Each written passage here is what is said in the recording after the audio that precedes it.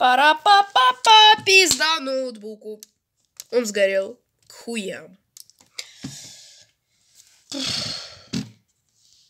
Полностью и целиком. Ему пиздец. Он уже похож на Олдбони, нахуй, вот.